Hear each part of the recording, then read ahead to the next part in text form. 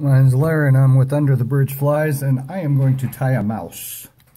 Um, my mouse is going to be a streamer mouse though, so I believe that, uh, I know that at nighttime, full moon, guys get out there with those mice, go across the water and them big browns just come up and nail them. So, um, and I've seen a ton of posts and articles and stuff about mice you know, big bows, big browns, you know, uh, guys, you know, open them up or suck them out and they'll be, you know, full of uh, mice and everything, you know, and, you know, uh, especially the baby mice, you know, they're getting them underwater, so they're not getting them while they're swimming on top. They just, you know, fall off the bank or whatever from the nest and they just sit there and gorge themselves on these mice patterns. So, um, I tied this uh, nice little streamer pattern up and a couple guys wanted to know recipe on it. So I said, well, you know what? I'll just make a video. It'd be easier. And this is a pattern that you can use for a lot of different things too. You know, you can use it for, you know, egg leeches, egg sucking leeches, you know, uh, pretty much any streamer that you want. It's a really easy pattern to tie. So anybody from you know beginner to expert you know can you know experts can tie these things up in a couple minutes you know and just knock them out and take these things fishing and uh, you know hook you into some fish you know and beginners you know can get in there and tie these up and take them out and you know really um, catch some nice fish with them so you know that's always a good thing you know guys get out there and catch some fish on their own flies so Anyway, so we're using a 2220 Daiichi's is the hook I'm using, and these are size 2, which uh, 2220 is a size 2 4X hook, uh, regular streamer hook. Um, you can use these in ones, uh, you know, you can get them down real low and everything too, uh, change colors a little bit, you know, if you want to make a, you know, smaller, you know, mouse pattern. Um, but these make nice streamers. Um, like I said, you can really change them up and everything. And what I'm going to do is I'm wrapping mine with a little bit of O point, or yeah, 030, this 030 lead wire, because I want mine to get down a little quicker. Um, guys, uh, nymphs and streamers, you know, with browns in the daytime, you know, those things are getting up there closer to the fast water and they're really, you know, sitting in there eating up everything. So I want mine to get down in that fast water a little bit. Um, once your rabbit, you know, your rabbit and everything gets wet, it'll get it down a little bit too. But I said I want mine to get down. But another reason I'm doing this is, as you can see, I'm putting my lead closer to the back of the hook because I want the back to sink. Um, when I strip this thing, I want it to jig, but I want my back to sink, you know, a little bit quicker than the top. That way, when I pull it back up, you know, it looks more like a mouse, you know, propelling himself with his hind legs, basically, is what I'm thinking. So um, I'm trying to get my back down, you know, a little bit quicker than the front. And, uh, you know, I, there's not a lead, a lead on this. This is just going to give it a little extra, you know. Um, so but lead's optional, of course, you know. Um, I'm using a Ultra UTC's 140, and mine's going to, I'm using a blue dun on mine, uh, trying to match the color, you know, of my grizzly that I'm using as far as my hair, my uh, rabbit strip goes. Uh, try to keep it gray, um, you know, or blue dun. Uh, so if you're tying brown, of course, you know, brown tan, um, but uh, depends on what fly you're tying, you know, so just bring that to the back of the hook. Now these are really, really, really simple tie. Um, so what we got, uh, Hareline Magnum. Uh, this is uh, natural hair grizzly. Um, this is a really nice, really, really nice looking uh, for mice. So when you measure this out, make sure you leave, uh, go up to about the center of where your hair is pulling back already on there. Um, get past that patch. You want your hair uh, where it's catching air to be over the top of the eye of the hook. Now, the reason I do this is I'm putting a hood on these and I'm actually making that, you know, like into my nose and, you know, mouth area for a mouse. Um, another reason is I'm going to make that um, a little bit stiffer when I'm all done to the at the end here and make that to where it's propelling water, catching a little water to make a little bit more sound in the lakes and everything. You know, um, that'll just give this fly a little bit of a, you know, water pushing, you know, get some sound out of it to uh, attract some uh, fish, you know, in. So um, what I'm doing is I'm going to mark this with my thumb to the end of this, and we're just going to take our scissors and just run my scissors right across the top of that hide and pull up. Do not cut. Don't cut it. Pull up, um, wet your fingers, bring that hair forward, and it just gives you a nice dry patch right there, right on the hide to get you a really good connection with your thread and stuff. Uh, you can wax your thread at this point if you use wax. I do not use wax uh, hardly ever. I got a bunch of it, but I don't never use it for some reason. But I'm just going to wrap that around about four or five times, pull that back, and go back, you know, we want to just, you know, make sure that's good and secure back there, so um, don't want it pulling off or anything. And once you get that back, just pull your rabbit strip back there and just let it hang. And next thing I'm using is I'm using crosscut rabbit to make my bodies out of. Um, like I said, if you're, uh, you know, any color that you want to make this fly, but it's a really great streamer pattern. So, and it's simple to tie. If you're a beginning tie, you know, fly tire, you know, give this a shot. Get you some cross-cut rabbit strips, um, some regular Magnum, and buy Hareline. Don't go cheap on your rabbit strips. I mean, there is a huge, huge difference in rabbit strips. And Hareline is the best I've ever seen. I mean, it's a thicker, better strip. So, um, we're just going to tie this in. Now, you see where that little hole is back there. All I'm doing is setting that crosscut rabbit in there. Make sure my hair is pointing backwards. And I'm just filling the void. And I'm just going to use that to tie my crosscut in with there. And we can tie that down real good and don't have to worry about it uh, poking up, making us a large hump in our fly. So once you get that in, just go ahead and wrap your rabbit strip and just uh, where the hide is, just get the hide right up next to the next one, pull your rabbit strip, you know, your hair backwards. And again, you're just going to make nice tight wraps with the hide of this.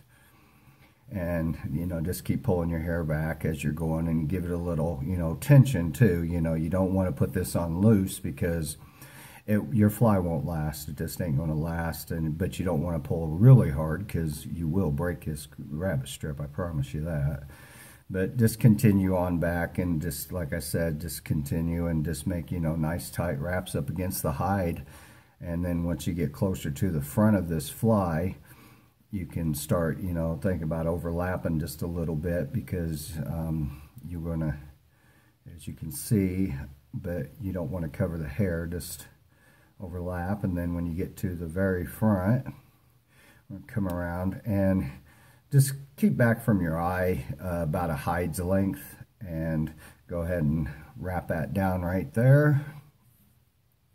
Tie it off and that way when you snip it because when you snip it a little bit of that hide's going to come forward still and you do not want to cover your eye on the bottom side of this fly so um, you want that nice and clean pull that little bit of hair out and see that gives you a little bit of space there. Um, it's you never know gonna know it's even there once we're done with this fly so and you can really tie these down real good too so you know um, all right so we just you know keep that go ahead and tie that down keep it back a little bit and the next thing we're going to do is real simple. We're just going to split this hair up you know just uh, grab your fingers and pull on both sides start at the middle of your hook and just pull down. And you see how that uh, hair splitting up and all dropping down. Uh, grab your other hide, your rabbit strip, and go ahead and pull it forward.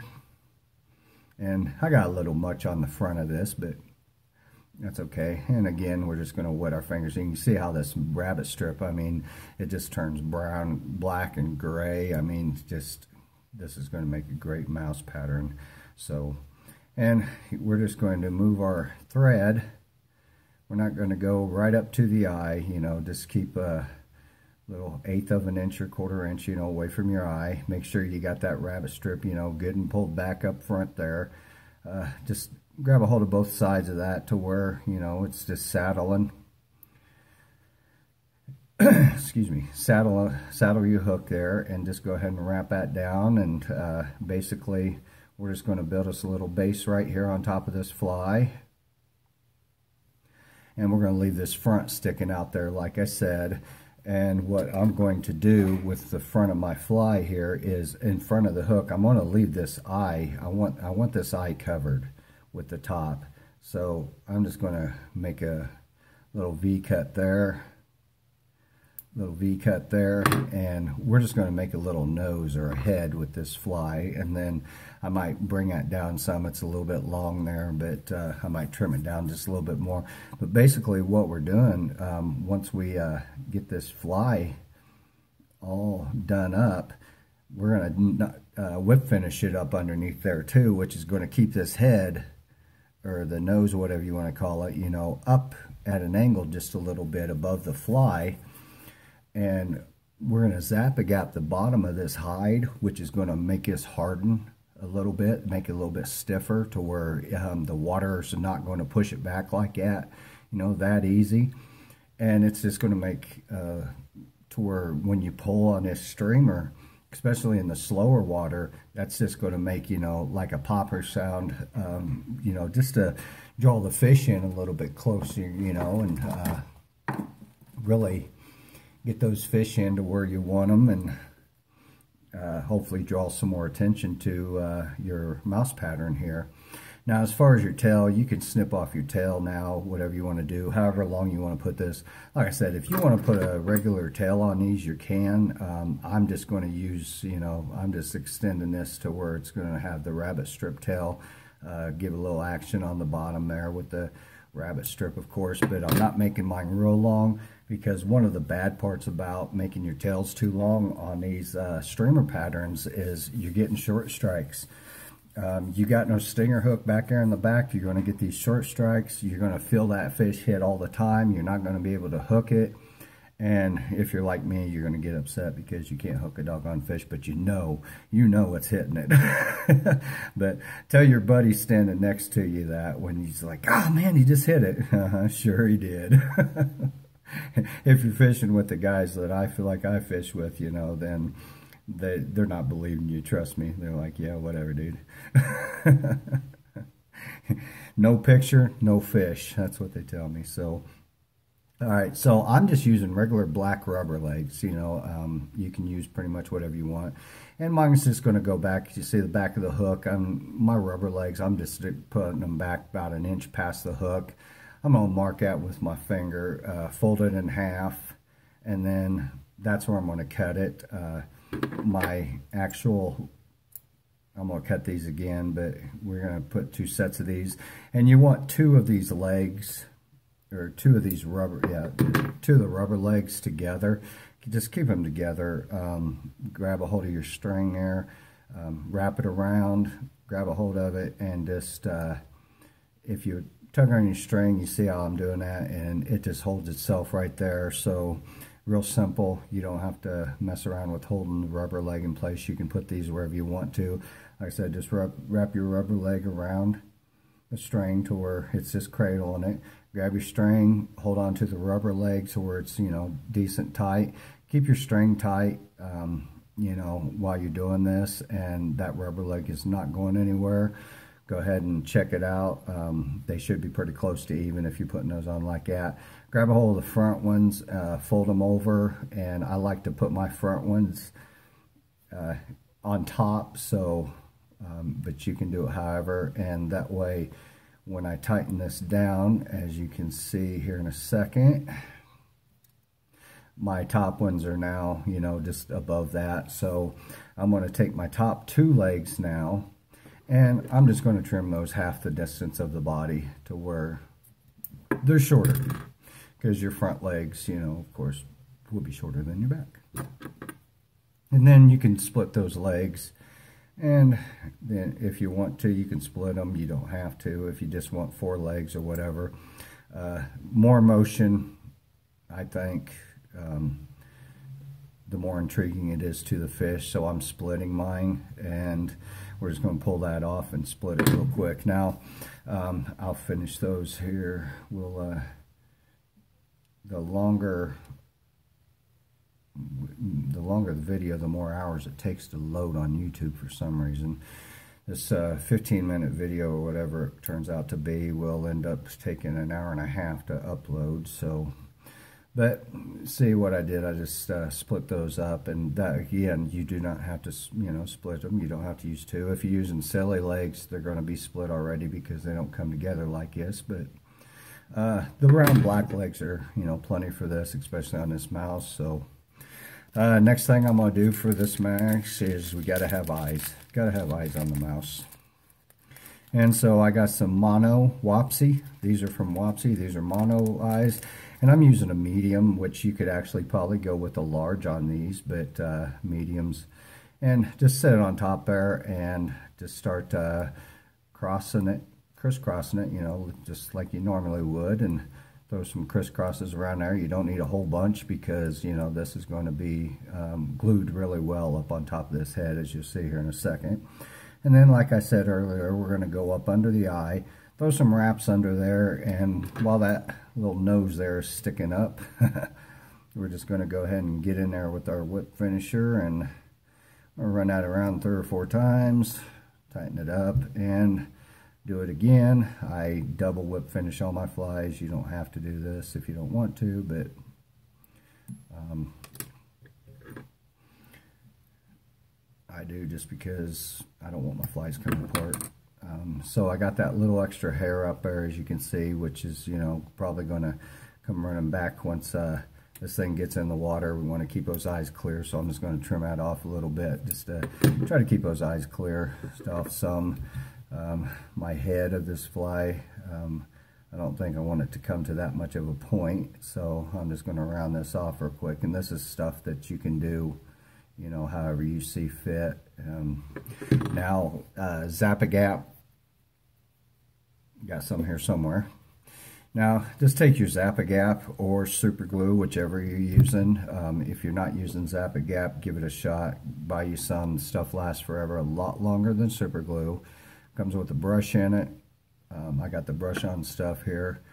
Uh, this is great for tying. Um, if you're not using it, give it a shot. Um, it's a little more expensive than super glue, but it lasts a lot longer. So in the long run, and you can really, you know, like I said, especially with the brush applicator, um, I also got some I put in my uh, other bottle here to I use with my pen and I just get down, you know, wherever I want to and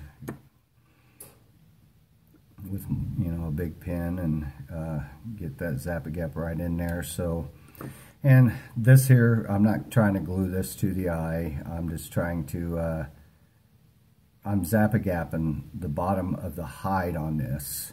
And what's going to happen, that's going to dry up on me, you know, once that's dried up and keep it away from your eye until it is. But once that dry, you see how much stiffer that's you know already becoming. So that's going to give us that water you know that water that is talking about you know that little popping sound or whatever.